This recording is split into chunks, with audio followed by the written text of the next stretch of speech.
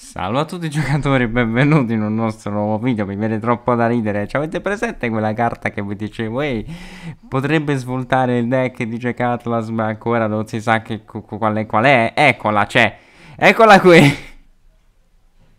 mi viene troppo da ridere perché non faccio tempo a fare un video che devo fare il video aggiornamento per il video della carta che... Vabbè, lasciamo perdere. Prima di iniziare come sempre ragazzi vi invito a iscrivervi al nostro canale per rimanere sempre aggiornati con il mondo di Yugi. Mi raccomando, è importantissimo. Grazie mille, mi raccomando, vi guardo.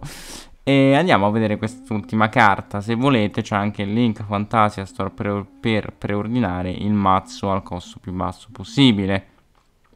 L'ultima magia di Jack. Allora, come avevamo predetto, una carta magia continua, Crimson El Gaia, Crimson Gaia, perché Hell non va bene.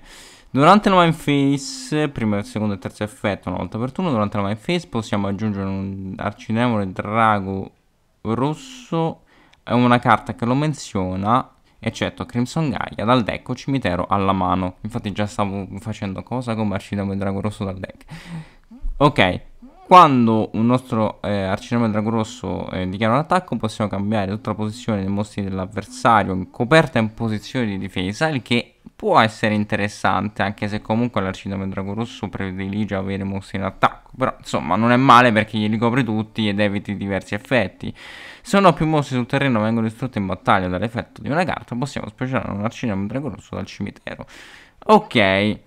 Una carta che non è per nulla male, come, come, avevamo detto prima, 5 minuti fa sarebbe stato un addino che ti permetteva di prendere carte che menzionavano appunto Arcinema e Drago Rosso, buono che te lo puoi rimettere anche nell'extra deck al limite se ti può servire un, un modo per riciclarti quel mostro, carta veramente molto molto figa, nell'artwork è veramente stupenda, non male. L'unica cosa, che, l'unica cosa che vorrei ci fosse un eh, boss monster di quelli veramente esagerati. Però credo che eh, Age of Overload ci dirà se ci sarà o no.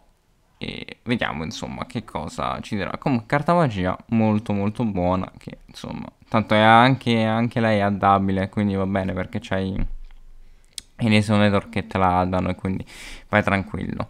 Detto questo ragazzi fatemi sapere voi cosa ne pensate ovviamente. Ora finché aspettiamo che mettano le, le ultime stampe poi facciamo i soliti consueti le solite consuete profile e tutto il resto e poi chiudiamo Arcinome Drago Rosso.